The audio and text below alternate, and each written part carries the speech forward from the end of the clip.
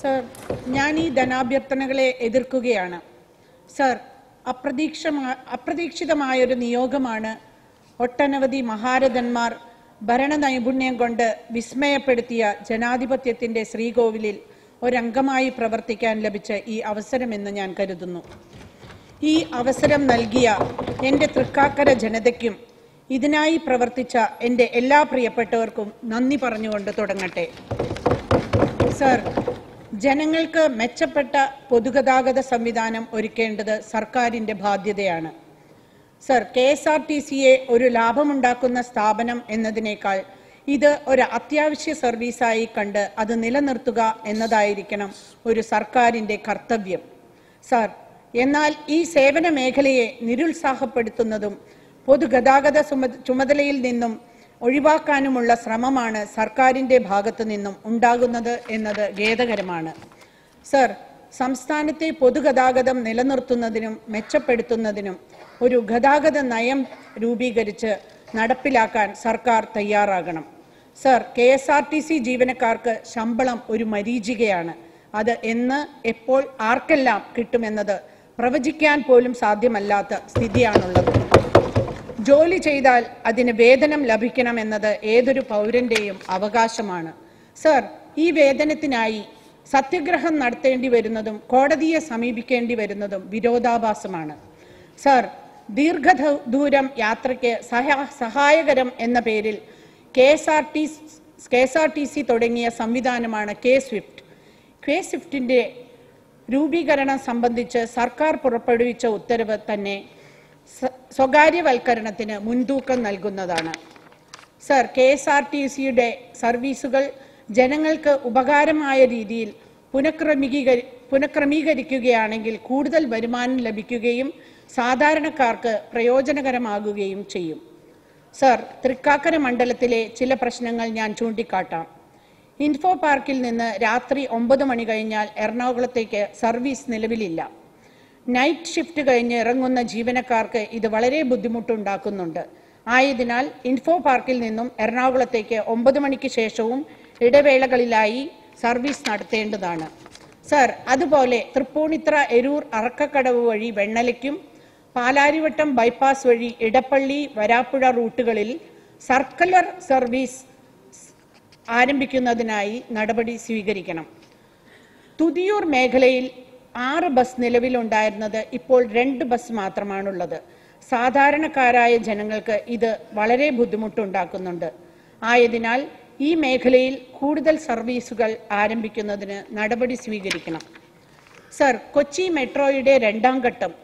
പാലാരിവട്ടം മുതൽ info park വരെയുള്ള പ്രവർത്തികൾ അടിയന്തരമായി പൂർത്തീകരിക്കുന്നതിന് നടപടി സ്വീകരിക്കണം. ഇത് പൂർത്തീകരിക്കുമ്പോൾ ഒരു പ്രദേശത്തെ ഗതാഗത പ്രശ്നങ്ങൾക്ക് ഒരു പരിഹാരമാകും.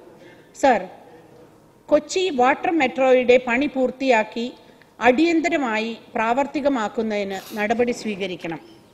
സർ മത്സ്യബന്ധന മേഖലയെ സംബന്ധിച്ച് വളരെയധികം യാതനകൾ അനുഭവിക്കുന്ന ഒരു വിഭാഗമാണ് മത്സ്യത്തൊഴിലാളികൾ. പ്രകൃതിക്ഷോഭവും കടലാക്രമണവും മൂലം വീടും സ്ഥലവും മത്സ്യബന്ധന ഉപകരണങ്ങളും നഷ്ടപ്പെടുത്തുന്ന ഇവർക്ക് ആവശ്യമായ സഹായം യഥാസമയം ലഭ്യമാക്കുന്നില്ല. കൂനിന്മേൽ കുരു എന്നതുപോലെ ദൈനംദിനം ഉയരുന്ന മണ്ണെണ്ണ വില വർധനവിൽ സർക്കാർ സബ്സിഡി നൽകാൻ തയ്യാറാകണം. സർ തൃക്കാക്കരയുടെ സൗഭാഗ്യമാണ് ഉപതെരഞ്ഞെടുപ്പ് എന്ന് ചിലരെങ്കിലും കുത്തി നോവിച്ചിട്ടും എന്റെ ജീവിതത്തിലെ കറുത്ത അധ്യായമാണ് ഈ ഉപതെരഞ്ഞെടുപ്പും വിജയവുമെല്ലാം. എങ്കിലും പി ടി ഉയർത്തിപ്പിടിച്ച ജനപക്ഷ രാഷ്ട്രീയം പിന്തുടർന്ന് പ്രവർത്തിക്കാൻ ഞാൻ ആഗ്രഹിക്കുകയാണ്. സർ പി ടി തോമസ് തുടങ്ങി വെച്ചതും പാതി വഴിയാക്കിയതുമായ ഒട്ടനവധി ജനഹിതപരമായ വികസന പ്രവർത്തനങ്ങൾ പൂർത്തീകരിക്കുകയും തൃക്കാക്കരയിലെ സമഗ്ര വികസനത്തിന് രാഷ്ട്രീയമോ മത സാമുദായിക വർഗ വർണ വ്യത്യാസമോ കൂടാതെ നൂറ് ശതമാനം ആത്മാർത്ഥതയോടെ പ്രവർത്തന നിര നിരതയാവുക എന്നതാണ് എന്റെ ലക്ഷ്യം. സർ തൃക്കാക്കരയുടെ സമഗ്ര വികസനം എന്ന പി ടിയുടെയും അദ്ദേഹത്തിന്റെ പിന്തുടർച്ചക്കാരി എന്ന നിലയിൽ എന്റെയും ലക്ഷ്യപൂർത്തീകരണത്തിന് കേരള സർക്കാരിന്റെ എല്ലാ പിന്തുണയും ഉറപ്പാക്കാൻ കഴിയുമെന്ന് ഞാൻ വിശ്വസിക്കുന്നു. കാരണം ഉപതെരഞ്ഞെടുപ്പ് സമയത്ത് എണ്ണയിട്ട യന്ത്രം പോലെ കേരളത്തിന്റെ മുഖ്യമന്ത്രിയും ഇരുപത് മന്ത്രിമാരും മറ്റ് ഭരണ സംവിധാനങ്ങളും അരയും തലയും മുറുക്കി തൃക്കാക്കരയിലെ ജനങ്ങൾ അഭിമുഖീകരിക്കുന്ന പ്രശ്നങ്ങൾ ഒന്നൊന്നായി മനസ്സിലാക്കുകയും പഠിക്കുകയും ചെയ്തിട്ടുണ്ട്.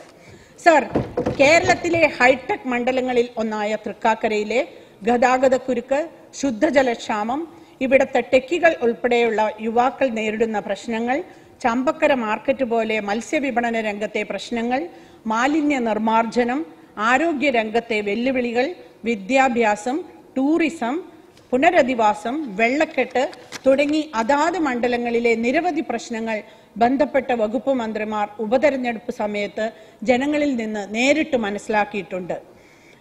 സർ കേവലം തെരഞ്ഞെടുപ്പ് വിജയം ലക്ഷ്യമിട്ടിട്ടുള്ള ഗിമ്മിക് മാത്രമല്ല ഇത് വാഗ്ദാനങ്ങൾ ഈ വാഗ്ദാനങ്ങളെന്ന് തുടർന്നുള്ള കാലയളവിൽ എൽ ഡി എഫ് സർക്കാരിന് ജനങ്ങളെ ബോധ്യപ്പെടുത്താനുള്ള അവസരം കൂടിയാണിതെന്ന് ഞാൻ ബഹുമാനപ്പെട്ട മുഖ്യമന്ത്രിയെയും മന്ത്രിമാരെയും ഓർമ്മിപ്പിക്കുകയാണ്. സർ തൃക്കാക്കരയിലെ മിന്നുന്ന ഭൂരിപക്ഷം കണക്കിലെ കസർത്തുകൾ നിരത്തി ഇതൊരു വിജയമേ അല്ല എന്ന് സമർത്ഥിക്കാൻ കഴിഞ്ഞ സഭാദിനങ്ങളിൽ ഭരണപക്ഷത്തിലെ ചില ആളുകളുടെ ഇടപെടൽ കണ്ടു. സർ ഒന്ന് പറയട്ടെ ഒരു മതഭ്രാന്തന്മാരുടെയും വോട്ടല്ല ഒരു അരാഷ്ട്രീയവാദികളുടെയും വോട്ടല്ല മറിച്ച് തന്റെ തട്ടകത്തിലെ ജനങ്ങളെ ജീവന് തുല്യം സ്നേഹിച്ച ഉറക്കത്തിൽ പോലും അവരുടെ പ്രശ്നങ്ങളെ ജാഗ്രതയോടെ നോക്കിക്കണ്ട തൃക്കാക്കര ജനതയുടെ മനസ്സിന്റെ അകത്തളങ്ങളിൽ ഇടം നേടിയ ഞങ്ങളുടെ പ്രസ്ഥാനത്തിന്റെ പി ടി തോമസ് എന്ന ഉത്തരവാദിത്തപ്പെട്ട ജനനായകന്റെ പ്രവർത്തികളുടെ ഫലമാണ് ഞങ്ങളുടെ വിജയം. ഈ പ്രതിപക്ഷത്തിന്റെ വിജയം. ഈ സഹതാപ ഇത് സഹതാപത്തിന്റെതല്ല മറിച്ച് സത്പ്രവർത്തനത്തിന് ജനങ്ങളുടെ സമ്മാനം തന്നെയാണ്.